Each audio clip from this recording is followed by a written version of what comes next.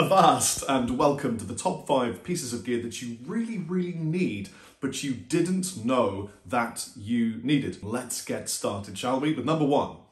Ah, Minuendo make this really awesome set of lossless earplugs. Now, what makes these completely different from anything else on the market? And if you don't have earplugs and you play in a band, get some earplugs if it's the last thing you do. So these are adjustable hearing protection. And on the side, as you can see in this really cunning close-up, you can adjust it from 7 dB to 25 dB. How often have you seen singers remove one earplug to get a little bit more volley? No longer required with Minuendo. Comes with all of the bells and whistles, including a tiny toothbrush. Number two, it's a Boss Line Selector LS2. Now, I guarantee the majority of you have never tried one of these. I wish I'd known about this years ago. I contacted Boss and I said, listen, your chorus pedal sounds amazing, but it is too loud and there is too much effect and I cannot dial it down. They sent me this.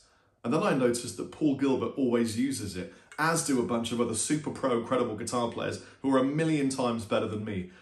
It's an effects loop in a pedal and you can switch between two different loops each one has a level. See what I mean? You can have one loop for one rhythm guitar tone, one loop for a lead guitar tone. You can do all sorts of micro adjustments and clever routing with this. And you can go, look, I needed this. It's tech and it's practical and useful. It's not just another distortion pedal, do you know what I mean? And by the way, there are links to every single product I am discussing in today's video in the show more section just below. Number three, it is my Flyby Ultra from Mono. Now listen, not just do I take one of these with me absolutely everywhere on tour, but also I use it in my everyday life. Uh, they are almost indestructible. Now I say almost because this is my second and brand new one. The other one is here, and I've had this one for eight years. And after eight years of, you know, lots of tours and playing abroad in America and all of this, it's just started to go up the handle here, and that's it. Other than that, it's still a fully operable bag. So I recommend these. Mono Flyby bag. Go get one.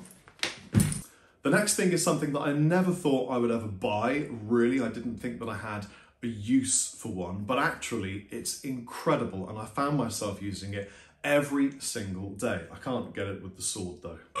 It's an Everse 8.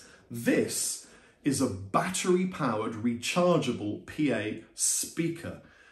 It's so good, so practical, so loud. You can charge it and it will run for like a day pretty much. It's amazing. It's waterproof at the back. There's a, there's a, a magnetized clippable panel that clips onto it to make it completely waterproof. It's just turned on because it wants to show you how good it is. You can plug in loads of different things. You can Bluetooth to it. I actually run my TV through it when I'm watching Netflix with the wife. Man, it sounds amazing. And what I do in here with this is I do a lot of practicing and rehearsing. I run backing tracks through it to have them at a recent, recent, decent volume and enough uh, bass kick that I'm feeling the tunes and the drums because often what I find is when I'm playing through with headphones, I don't like the feeling and I don't like the way my amp sounds. And when I'm playing through with a small, uh, like a Bose Revolve, it doesn't quite give you that uh, kick where you feel the drums for rhythm practice. This gives you the kick. It's really good. Everse E8, go check it out. Quick honourable mention before I move on to the final product. This is a vocal tube. It's a ridiculous thing, and yet I use it pretty much all the time. It is a piece of medical grade um, tubing that is a very specific diameter. And what you do is you put it into a water bottle and then you blow down the tube and it exercises and massages the whole vocal system. I would say that this uh, and altering my diet is what got me through the damage that I had sustained to my vocal cords after having really bad COVID. And I would recommend that anyone who sings would try one of these. I had pneumonia and COVID, and this got me through that. In fact, I even sang a gig uh, with pneumonia because this got me through it. Recommend it. Vocal tubes. Okay, my final and last thing that you really need, but you didn't know that you needed, actually is two things because one of them is really expensive and one of them is, in my opinion, a more affordable, um, similar kind of version to what it is. So the expensive and really nice one is this. Yes, it's a quad Cortex. Have you actually tried one? They are astoundingly good.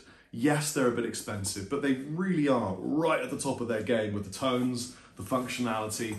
And I'm very good friends with the artist manager and one of the owners. And every time I talk to Max, the artist manager, he goes, Oh, yeah, no, I was just hanging out with Metallica. Oh, and Joe Satriani, and mentions every artist that I love who's either checking it out or using it. However, if you can't afford a neural, this is what I would recommend. It's the Trident by NUX. It's a lot easier uh, laid out. I mean, it's literally just WYSIWYG. What you see is what you get. Reverb, delay, modulation, effects. It's a preamp. It's digital, but it sounds super, super good. I've got a review of this already. I highly recommend them. See if you can find them. I'm not even sure if they're available to purchase everywhere yet, but they soon will be. And boy, they are super good. For all my preamp boys on the floor, this is, uh, this is my more affordable recommendation for you. Anyway, hope that was in any way useful for you. There are links to every single product in the show more section below. Check them out, take it easy. Chappers out. Tiny toothbrush.